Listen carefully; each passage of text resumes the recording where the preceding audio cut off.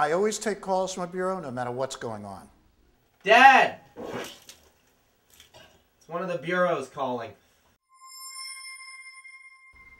I've also learned never to take calls from somebody if they're trying to book me by going around a bureau. You're not supposed to call me here. You're supposed to call the bureau first and work out the contract. Then we talk. You understand? I try to take every job that comes my way, even if I have other plans. Hello, this is Helen from Speak, Speak, Speak. I have a job for you on May 19th for the National Citrus Association. Are you open on that date? Hello, this is Trish from Talk, Talk, Talk, and Talk Some More. I have a job for you on June 11th for U.S. Sugar. Are you available on that date? This is Eileen from Whisper, Whisper, Whisper. I have a job for you. I customize a lot. So I check out the client's website and then I call them. Uh, just, I just wanted to get a little information if I might. Uh, you can't give me any information. You can't tell me anything at all about what you guys do. I can't, you can't give me any names. You can't give me anybody to joke about. You can't give me any information whatsoever. It's all classified. Hmm. Yeah, I could still make it funny. Before traveling, I pack as efficiently as I can, but I still like to take a few things that make me feel more at home. First thing I do is pack my paracords for my cell phone and my iPod.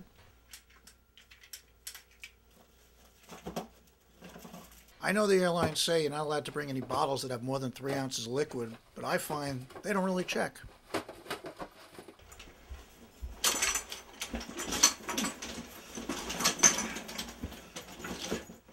Ready? Good. Have you seen Mookie anywhere, Dad? Check in the back. Bye. Come on, boy.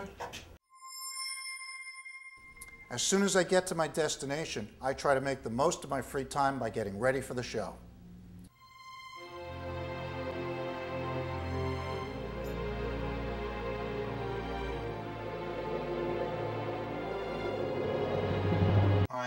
Funniest man in Billings, Montana. I am the funniest man in Billings, Montana. I am the funniest man in Billings, Montana. I am the funniest man in Billings, Montana. I am the funniest Billings. Mo- I am the funniest. Bill- I am the funniest man in Billings, Montana. Then it's time for the show. The important thing is, in each case, I was able to get the job or make the sale. And making the sale requires what I like to call strategic planning. You've all heard the term strategic planning. A lot of you are involved in implementing strategic planning, but today I want to give you my definition of what I mean by the term strategic planning. Your association, NAB, in my opinion, is the best of its kind. And success like this can only come from one source leadership. People such as your incoming president, Armin Cosenza. Now that I've gotten that remark out of the way, say I really have no idea if Armin's going to be all that great as not as leader. but now I have successfully kissed up to Armin, I stand a good chance of being rehired to speak to you again at next year's meeting. That's strategic planning.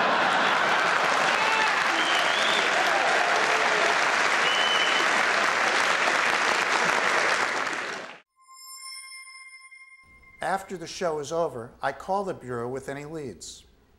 Hey Joe, it's Harry Freedman. Got a couple leads for you. First one was from uh, one of the uh, executives. He was, to be honest, a little bit drunk, but uh, he really liked what he could remember of my show. I got a lead from the first cousin of the son of the CEO's best friend, who said he might be able to use me for his sister-in-law's friend's brother's birthday party. So I think that's a really good one. I always try to keep myself on an even keel. Obviously, there's been some ups and downs in this business during the past few years. I think most people in the industry would agree 2007 was a very good year. Cabo, Mexico. They're giving me a suite that's worth $2,500 a night, and I get a free full-time butler and a free massage. And what's the guy's name? Madoff. Never heard of him. And I think most people in the business would agree 2009 was a very challenging year. A lot of us took jobs that we normally wouldn't.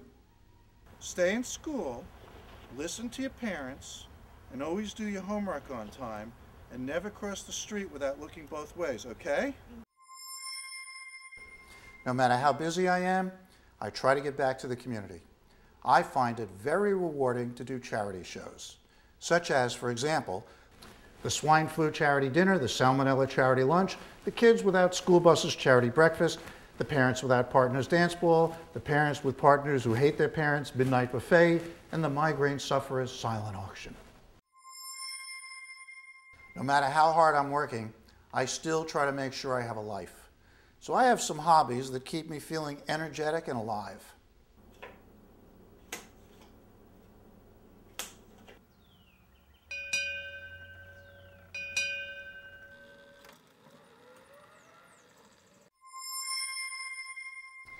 When I began my career as a corporate speaker and I started working with bureaus, I was very impressed by the level of professionalism that I found.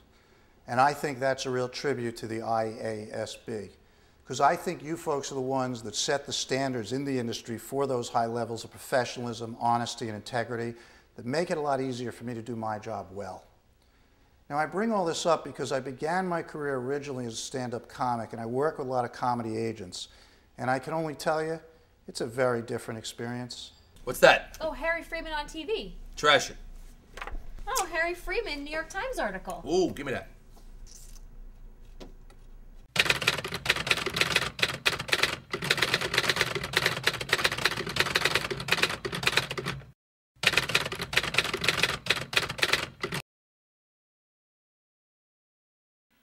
I am the funniest comedian in Billings, Montana.